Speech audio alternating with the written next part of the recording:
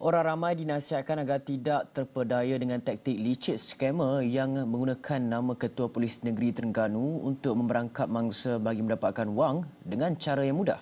Taktik itu dibongkar selepas pihak polis mengesan satu notis tangkapan kononnya dikeluarkan Polis Diraja Malaysia PDRM melalui aplikasi WhatsApp.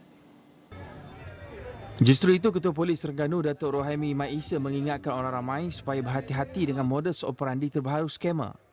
Katanya setakat ini, satu laporan polis telah diterima berhubung kegiatan berkenaan.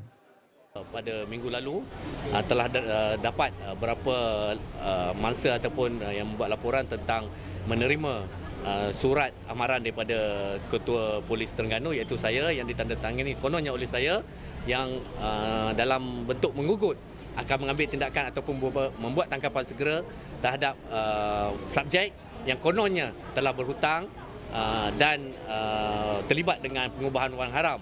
Bagaimana kan bagaimanapun itu sebagaimana yang kita sedia maklum adalah scam semata-mata ha? iaitu percubaan uh, penjenayah uh, untuk mendapatkan wang secara mudah. Menurut Rohami, kebanyakan individu yang menjadi mangsa terdiri daripada rakan dan kenalan pegawai-pegawai polis.